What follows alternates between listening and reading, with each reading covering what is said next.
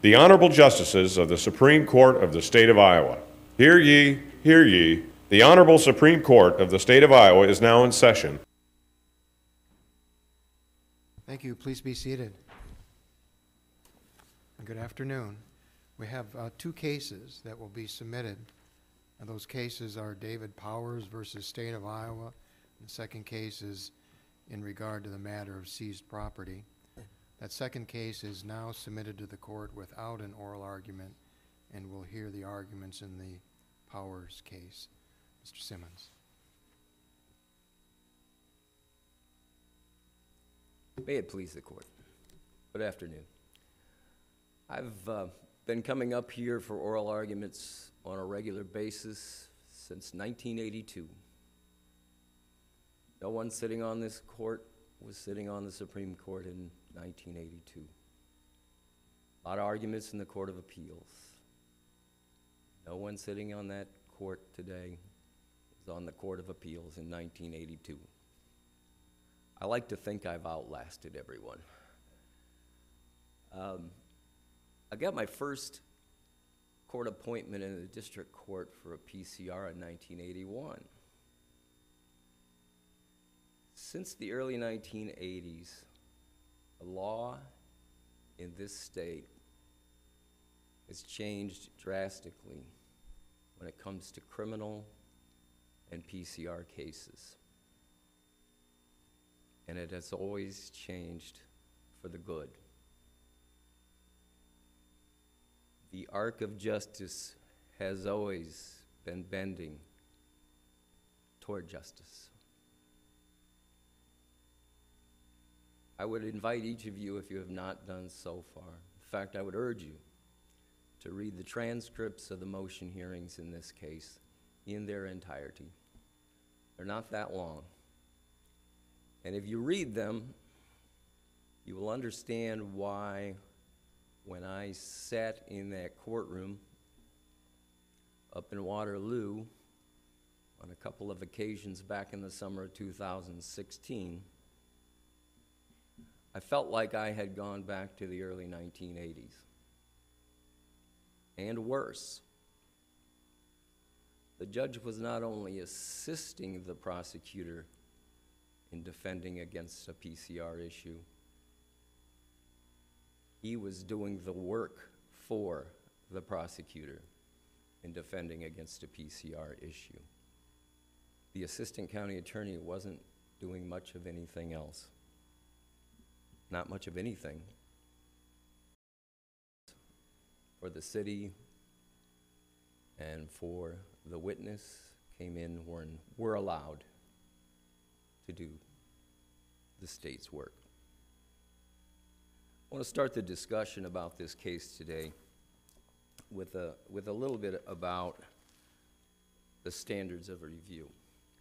Uh, because as I read my briefs a couple days ago, uh, it seemed I had not drawn a full and perfectly clarified picture of what the standards of review are here. In the first issue, the denial of the police reports, the denial of discovery, the standard is abuse of discretion. And that is the only standard. Um, the cases I cited on the standard, the, the, the, the Wells Dairy case and Exotica Botanicals, are, are not clear to me, and maybe I should have done research, uh, but they don't mention prejudice. It appears to me from reading those that there is a presumption of prejudice when discovery is unreasonably denied, or that it's just not necessary to consider prejudice at all. I, I would assume there's a presumption of prejudice because um, some discovery requests, though unreasonably denied, could make no difference to a case at all. Um, on the second issue regarding the fairness of the hearing, both standards are in play. Abuse of discretion and a constitutional issue with a de novo review. Now, I don't think you have to reach the constitutional issue to decide that second issue about the fairness of the hearing. Because I think there are enough errors in the way, in the way the judge went about conducting these hearings and actually calling these hearings.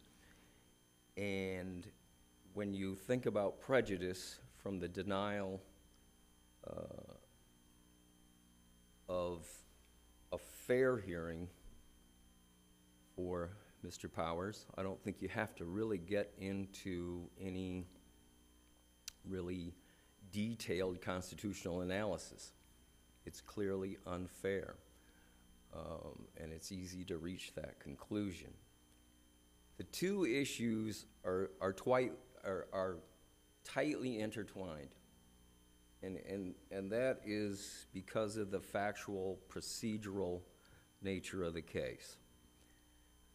On the one hand, in denying the discovery of the police reports for no particular reason uh, that's recognized in the rules of discovery, uh, you know, there's, there's not a claim of unduly burdensome uh, or unable to access electronic documents or other documents.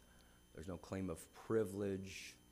There's no uh, claim of investigative confidentiality that we get in criminal cases. There's nothing like any of that put forward uh, by the state or by the, by the judge. Let me ask you a question, Mr. Simmons. If there's no claim of privilege, and I think your position is it's a public record under the Open Records Act, did you serve an open records request? I did not. Why not? I did not because I think that the process through the duces tecum is much more expedient. Um, And, and I thought that it was important to have an officer from that department bring those reports into court to support my position in front of the judge. Um, I, I wasn't interested in bureaucratic or administrative entanglements in, in attempting to get these reports. They're not confidential records. They're germane to my issue, and, I- and I think the duces tecum was the most efficient way to do that. The issues are so tightly intertwined because the judge then made those police reports the ultimate basis for his ruling on the admissibility of the evidence as it would come in at trial without allowing Mr. Powers or me, his attorney, to see those reports. So first we deny discovery, and then we deny the use of the reports in making the case uh, for the admissibility of false accusation evidence. Do we have to decide both issues, or could we sort of take one step at a time? Uh, if hypothetically we, we held you were entitled to discovery, stop there, send it back for new proceedings, once you see what's in them? Um, well, I guess we, you could do it that way, and then I would, after I got the reports and maybe did some more discovery that the reports may lead to, I could file a motion to reconsider the ruling on admis- admissibility. Uh, of course, I would prefer that that ruling just be reversed and, and we start over at square one, but, you know, that's, that's the way I would do that. And, eh, you know, the reason I, I raised this, uh, motion for admissibility is because I had agreed that the witness did not have to appear at the post-conviction trial in June of sixteen, and, uh, agreed to a continuance of the trial. And it was just because the witness was going on vacation at that time. That's the only thing that was raised in the motion to quash. But after I agreed to the continuance, I get the order, and the continuance also sets the case for a hearing on the motion to quash. And after that motion hearing, then the new trial scheduling conference was going to take place. Well, I thought it might be just a mistake. Um, waited for any uh, filings, that I thought there would be more filings from the state uh, to to quash the subpoena of, of the original complaining witness on other grounds. Never happened. Uh, So I filed this because I wanted to frame the issue on this witness for the judge when we got to this hearing. I did point out that the motion to quash is moot. I had agreed to the continuance uh, on the only basis they raised. So uh, any seasoned trial attorney, I think, is going to say, well, this motion to quash is going forward, so there may be other grounds coming up. And I didn't want the grounds to come up at the hearing. Uh, So again, uh, that's why I raised that motion now. Now, the, uh, the state has argued that was a self-inflicted wound on my part. Um, I guess it would be a self-inflicted wound if it would have been reasonable for me to assume that the judge would not allow me to see these police reports, or I had assumed that the judge would then use the police reports that I was not able to see to reach his ruling on the motion and to ultimately reach the merits of that particular issue in, in what amounted to a summary dismissal of the issue. Assumed all those things would happen, I guess it would be a self-inflicted wound. But what I was doing was framing the issue in regard to this witness and then attempting to bring in some evidence to show the judge uh, the basis for the issue. How- How, how, um, as a proponent of the discovery, you would have the burden to show relevance, um, but how is it relevant, uh, what happens after the trial is, you know, is over? Well, that, that gets into, that gets into a pretty interesting area that should have been litigated in the district court. And I don't think the court needs to reach that question. Uh, But the point is, because these false accusations took place between the time of the verdict of guilt, but before sentencing, it came up within the time that a motion for new trial could have been litigated. Now, I can't tell you exactly what that motion would have looked like because I just don't have the full facts of, of- the police investigation. Um, Well, that's why I think what Justice Waterman indicated, it, it doesn't seem like it's fair to expect that we're going to make a decision about the admissibility of all these records either at this point, when you haven't even seen them, and no one has really effectively argued that as well. Uh, once you have an opportunity to look through those documents, then you're going to be better able to frame whether you can even first of all, get them into the record, and even assuming that you get them into the record, whether or not, you know, you've met your, your burden under the PCR. So wouldn't you agree? That needs to be somebody, the, the district court judge who's going to look at this information, hear the uh, arguments, because the underlying proceedings, at least as far as I could tell, really argued about whether you get them or not. I mean, that was the crux of it, and then I think Judge Stigler then went ahead and made a decision on your admissibility, but I, just think that's where the abuse of discretion may have been, uh, with regard to the, the second aspect. Correct. And that's generally, with the trial then being set somewhere off in the distance, that's generally long before I would file a motion for admissibility. But it was just to frame the issue. And the thing is, with the motion for admissibility, uh, if you continue to find more evidence, then you can always move to reconsider the motion for admissibility, even during the trial.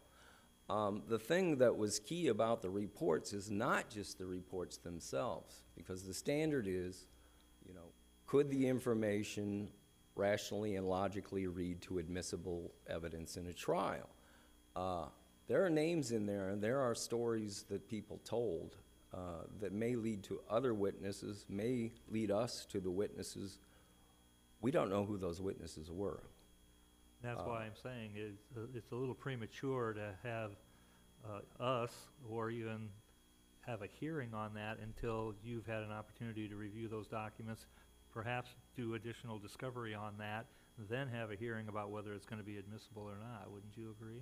I would agree, and I, and, and actually, I told the judge, I think it was, that I thought at that point it was premature for him to rule, uh, and that I should be allowed to do more discuss, get the reports and do more discovery be, before we litigate the, the motion for admissibility. Thank you. Mr. Simmons, thank you as well. Mr. Hanson?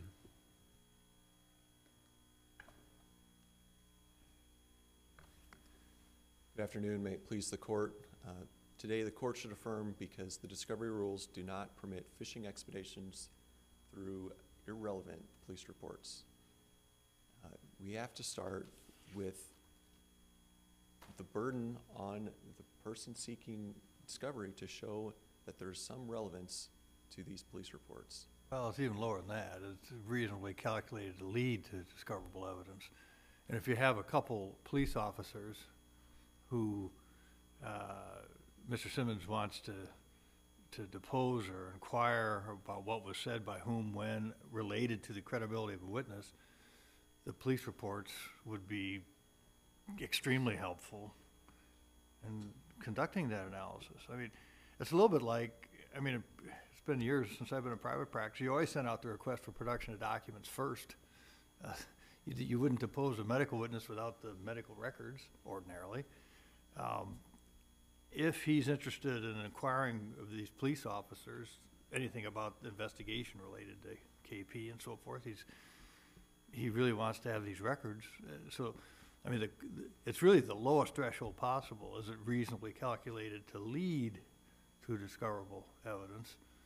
And isn't our standard awfully generous on that? Well, relevance in this case. Calculated to lead to. Right, yeah, I'm, I'm, I'll get to that point. Relevance requires the victim's report to be false. And the district court looked through all of the records, said there's nothing here indicating her reports were false. Why can't the defense attorney look through there and say, because under, in Heemstra, we had a case where the court went through the whole record and said there's nothing in here that would help the defendant. We had the case on appeal, we looked through the records and came to a different conclusion, ordered the records released, and then the, the man got a new trial. I mean, why, why should the court be involved in the discovery of a case uh, when you're dealing with non-confidential information. Because we're dealing with a, a whole structure, and it's, it's a structure that is in every case where you try to discredit the witnesses against you. But it's taken to a different degree in sex abuse cases, where defendants who are charged with these crimes do everything they can to embarrass and annoy the victims. But you have the into rape submission. shield law to protect those people, and we've already decided, I think it's Baker, that uh, other testimony or other false, I'm sorry, testimony of other false accusations of sexual abuse are not covered by the rape shield law. And that cycles right back into the relevance here, and he, there has to be something indicating these are false, or that there's something in the reports that is gonna lead to a, a finding that they're How does false. Mr. Simmons know that? He never got to see him. Because he, he told the district court what he thought the reports contained, the district court looked through them, found nothing even remotely close. Same thing happened in Heemstra. We reversed. And if this court, I, I believe the records, the police reports are on file in this court. And if this court wants to look through them and see if the district court was wrong about that assessment, that's certainly something that it can do. Well, What he asked, wh- what he asked for, I think in the underlying motion on admissibility is, a- and I think he mentioned it just briefly at the, at the counsel table here, is, or at the podium, is that he wanted the names of these other people. We're not that interested in whether it's true or false, and, but he doesn't even know what the basic underlying facts are. There's three other witnesses that, there's names of people in there, And that's what he asked for at the outset, and that's what he uh, repeated again today at the podium. And so this is different than what, what you're referring to, isn't it? Different from what? He's asking for the names that will lead, that could potentially lead to other information regarding the underlying criminal offenses. Uh, and we already know that there's a strong, uh, evidence of impeachment evidence that might be there. Maybe he's looking for additional impeachment evidence that might have been there or available through the names of these other people. I mean, the, it, it's not just a fishing expedition, it's looking at these things and to explore it. Whether it's ultimately admissible, maybe not, maybe it gets thrown out later on, but isn't he entitled to at least see it?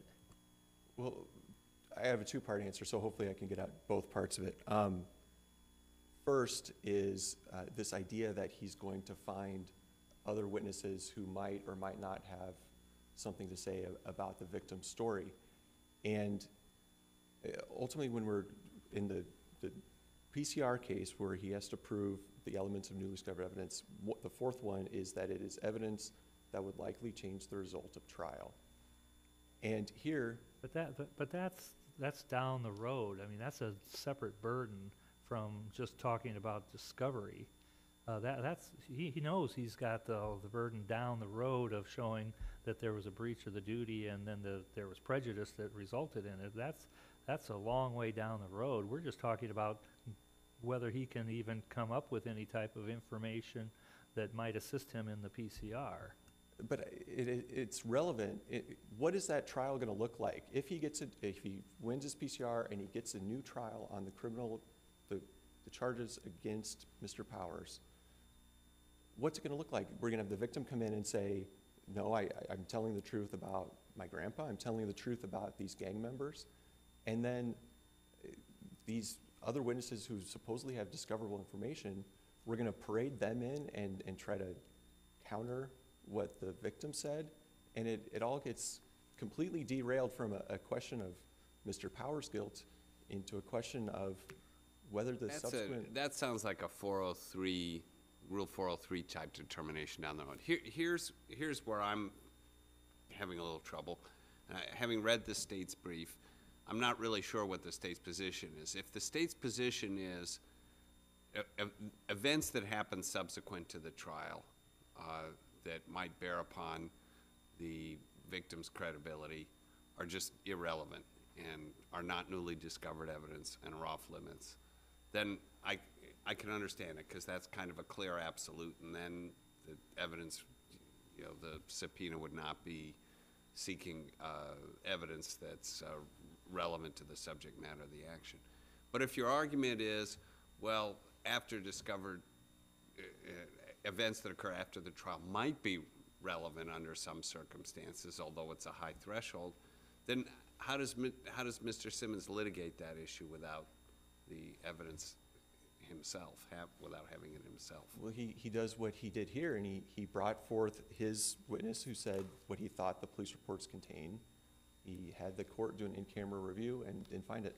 But I would stress that uh, the state is advancing that these records are irrelevant because the very theory of newly discovered evidence he's going under is not a valid theory because it's something that happened after trial, and that by definition is not newly discovered evidence.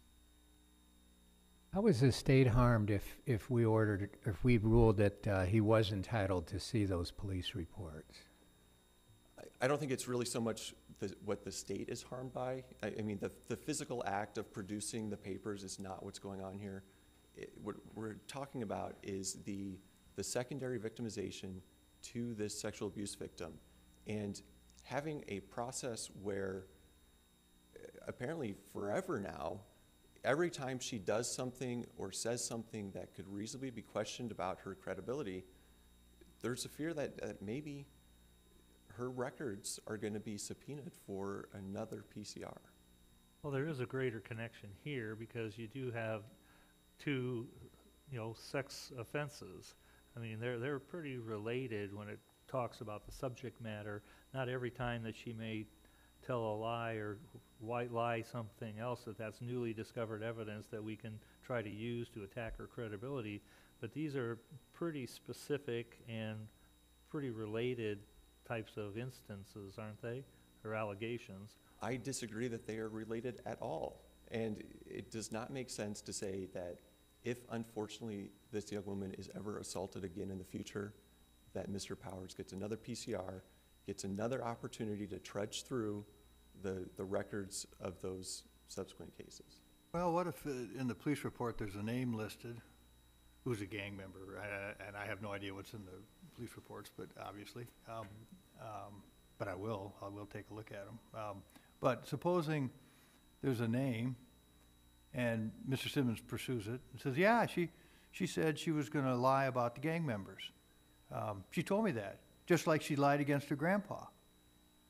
Now, Mr. Simmons is gonna investigate, he's gonna, he's gonna get a hold of some names, and he's probably gonna, gonna spade it up. I mean, that might happen, I mean, it might, is it reasonably calculated to lead to discoverable evidence? I mean, we don't know, Well, that just hasn't been developed. It, I- it may be a dead end, as you suggest. I disagree that that is reasonably calculated to lead to discoverable evidence. And Well, let me ask this prior que- cases say you have to have a good faith, reasonable basis to believe that the records will lead to something like that.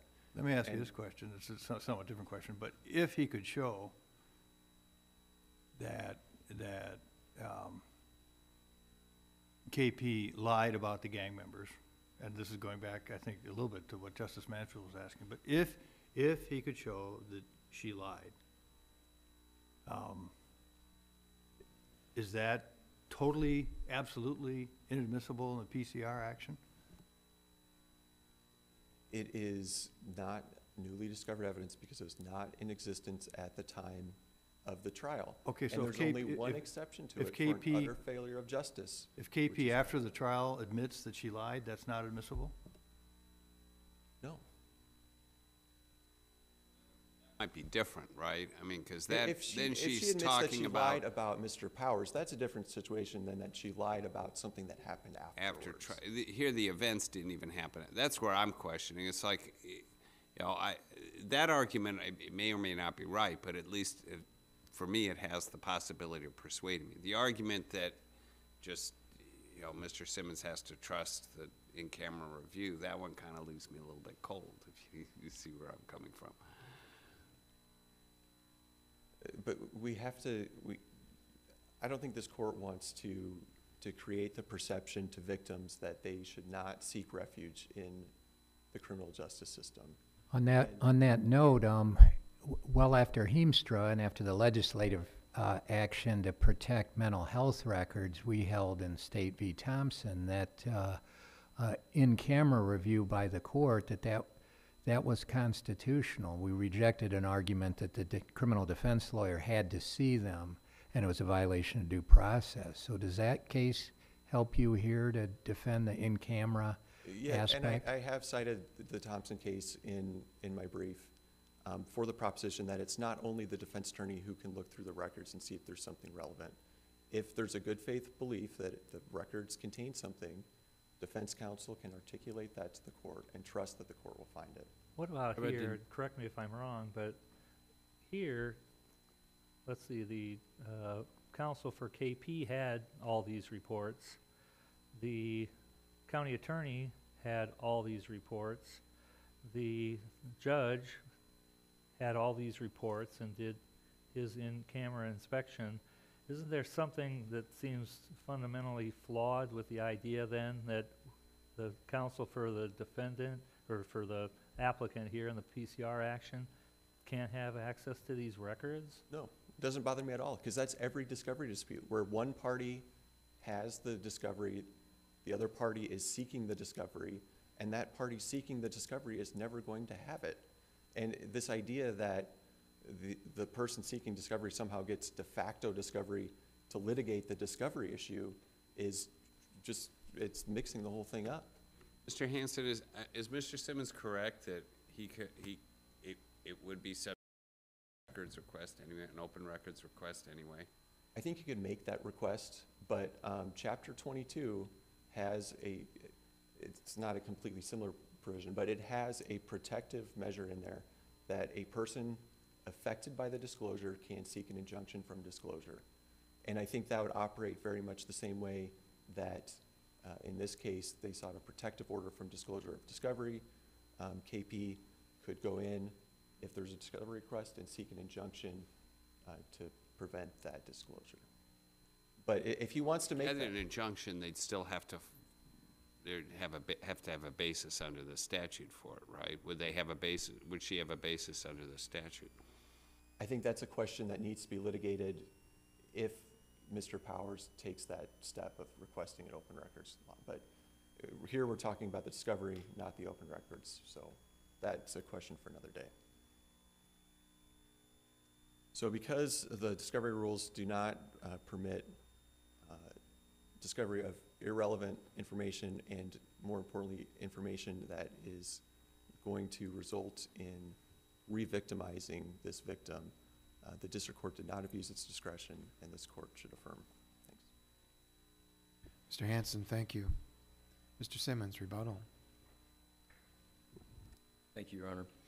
Uh, Somewhere in one of those two hearings, I think it was the first one, I said, you know, my experience has always been if I want something from the prosecutor and it's not harmful to the prosecutor's case, they give it to me. Uh, And when everybody had these reports, and don't forget the city attorney had them too, and he was litigating relevance. When everybody has those reports, but they won't turn them over to me, it seems to me there must be something in there that's going to lead to admissible evidence. That's just the feeling I got. Uh, Mr. Hanson says the physical act of producing the paper is not the real issue here. So why didn't they at least let me look at them? I mean, why couldn't they be filed under seal and I would still have access to them? What, what, what are we hiding? I have no idea. Uh, in regard to a motion for new trial, it's, it's, and, and Mr. Hanson mentioned an utter failure of justice as the standard for a new trial. Also, that last subsection of the motion for new trial in the criminal rules says if the trial was for any other reason impartial or unfair. Now, that's, that's kind of a big catch-all. Uh, I don't think there's been a really closely defined case uh, from this court as to, as to what that might encompass. Uh, But as Justice Appel said, what if I get evidence that shows she admitted she lied in that trial? Would there be no recourse between verdict and sentencing if the defense could bring in a witness who said the complaining witness admitted lying? As I, as I understand the other acts, because this would be another act, it's not bad acts, it's other acts, they don't have to occur before the first act, they can occur after the act and still be admissible. I think we have some cases that say that. There is. And is that what you were trying to, to flush out there? Well, I mean, yeah, uh, i- if you're going to get into the question about discovery of new evidence, does it have to be existing at the time of trial and that sort of thing? I, I think it, it falls in there somewhere. But I, I, I think uh, it, in that, in that framework between the verdict and the sentencing, if a judge, the trial judge who heard the case, saw good, credible evidence that she admitted she lied about everything, I, I can't see any trial judge in this state not granting a new trial. Um, and, you know, and presented with the, the evidence, these witnesses often break down and recant and said, well, yes, I did lie about it. So, What about, you talk about during the, in between the time of the, of the conviction and the sentence, but it's my understanding that the actual report was actually issued, uh, deciding that they aren't going to press any charges in this case, was actually done on, in May, which was after the time of the sentencing. How does that impact, I mean, that, isn't that something that can be argued later on, uh, because it, it really doesn't have the same urgency that you may think. The investigation was occurring during that time, but there was no final decision made on the investigation. It was still ongoing at the time that he was sentenced, and then two or three weeks later, then they closed the file. I Well, mean, that, that's an argument later Right. on, isn't it? So that's not dispositive of, Well, that gets This into other questions, uh, and I still don't know whether it was ineffective assistance of counsel why this didn't come to light at the time, or it was suppression of exculpatory evidence. Uh, If the, if the defense had been told about this investigation, the sentencing could have been continued. But that's the problem. I mean, Phil Powers knew this was going on, but he testified in the hearing, he- he doesn't think he told the defense attorney about it. Um, You know, he was not the defendant.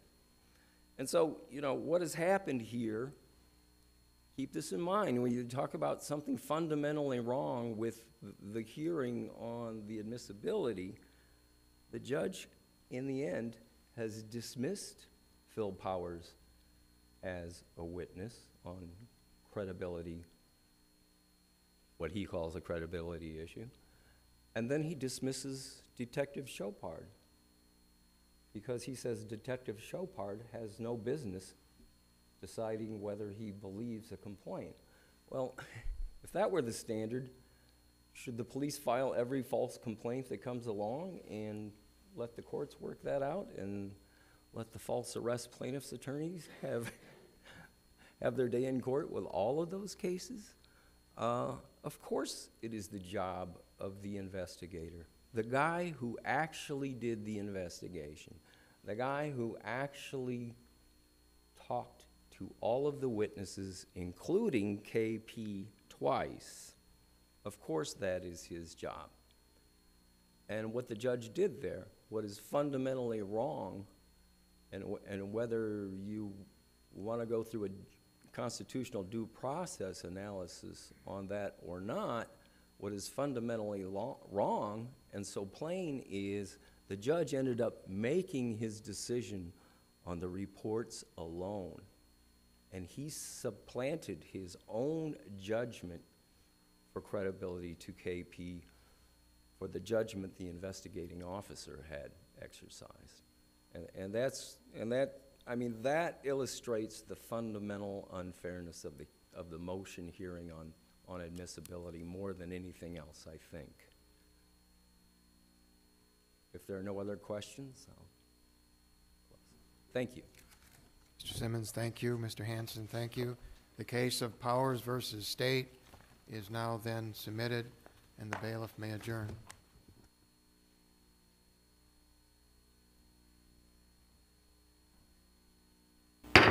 Hear ye, hear ye. The Honorable Supreme Court of the State of Iowa is now adjourned.